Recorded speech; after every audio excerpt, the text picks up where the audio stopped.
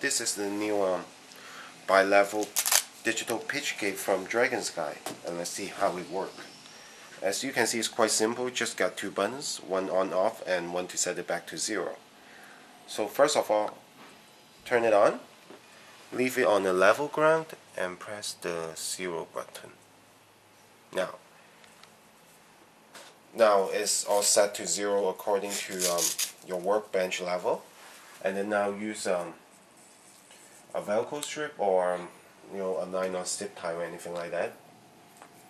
Tie it onto your helicopter's main blade holder.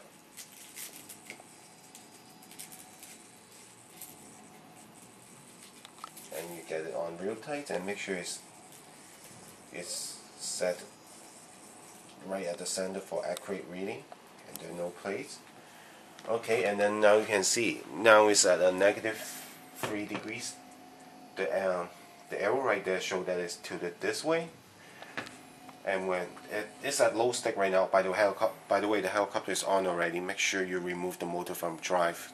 So you, the rotor will not start to spinning accidentally. Now when you move the stick up you can see the high stick is at 9.1 degree right now.